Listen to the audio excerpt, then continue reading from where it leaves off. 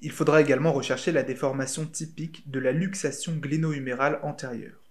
On y retrouve le signe de l'épaulette, qui est dû à la saillie de l'acromion, le coup de hache externe, lié au déplacement médial de l'humérus, le vide sous-acromial, le comblement du sillon deltopectoral, ainsi que, de profil, l'élargissement antéro-postérieur de l'épaule.